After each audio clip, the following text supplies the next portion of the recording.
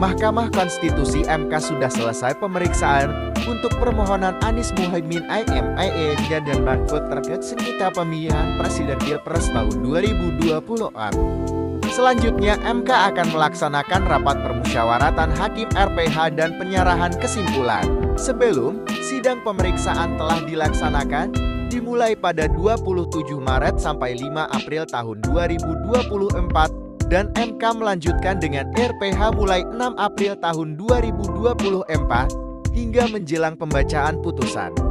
Tetapi, di tengah RPH tersebut, MK memberikan kesempatan bagi pemohon, pihak terkait, beserta KPU untuk dapat menyampaikan kesimpulan dan rencana penyampaian kesimpulan tersebut akan dilaksanakan pada Selasa, 16 April 2024 maksimal pukul 16 WIB. Ini menyebut bahwa saat ini MK tengah melaksanakan RPH dan menurutnya, penyampaian kesimpulan di tengah RPH tidak menjadi masalah. Ia menjelaskan bahwa dalam RPH, hakim menyampaikan pandangan masing-masing terhadap permohonan para pemohon. Tetapi, ENY belum dapat memastikan bagaimana proses pengambilan keputusan jika keputusan hakim berimbang.